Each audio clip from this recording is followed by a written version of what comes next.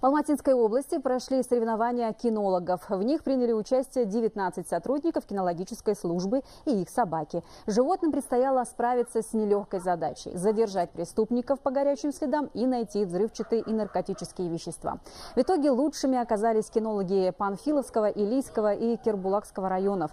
Благодаря служебным собакам только с начала года в регионе успешно раскрыто 180 преступлений. Чтобы улучшить качество подготовки четвероногих помощников, кинологи открыли племенной центр.